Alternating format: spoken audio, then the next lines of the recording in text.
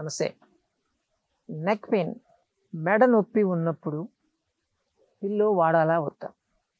చాలామంది చెప్తుంటారు పిల్లో తీసేసి పడుకోవాలి లేకపోతే సన్న పిల్లో వాడాలి లేదా టవల్ మడిచి తల కింద పెట్టుకోవాలి అని చెప్పి చెప్తూ ఉంటారు. ఫ్లాట్గా పడుకున్నప్పుడు ఓకే కానీ సైడ్ తిరిగినప్పుడు మీకు సపోర్ట్ అనేది ఉండదు. టోటల్ ప్రెషర్ అంతా కూడా neck neck pressure head pressure అంతా కూడా షోల్డర్ మీద పడుతుంది. ఖచ్చితంగా మీకున్నటువంటి మజిల్స్ టైట్ అయిపోతూ ఉంటాయి. అందుకని ఖచ్చితంగా మీరు పిల్లో వాడాలి.